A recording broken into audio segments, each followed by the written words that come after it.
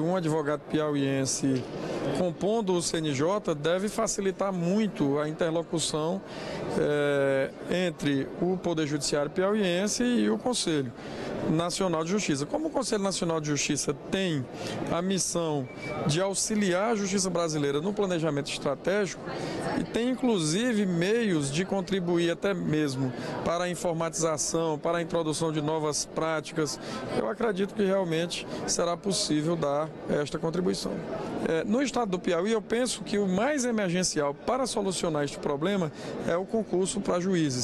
Nós temos uma carência muito grande, nós não temos sequer o judiciário de uma década atrás.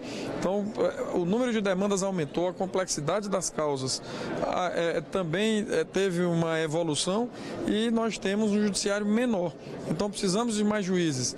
Os juízes também não trabalham sozinhos, eles precisam de uma boa retaguarda, eles precisam de um bom apoio. Então, eles precisam de servidores, servidores qualificados, treinados, preparados.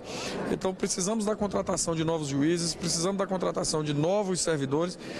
Penso também que precisamos motivar mais os servidores já existentes, precisamos motivar mais os juízes já existentes.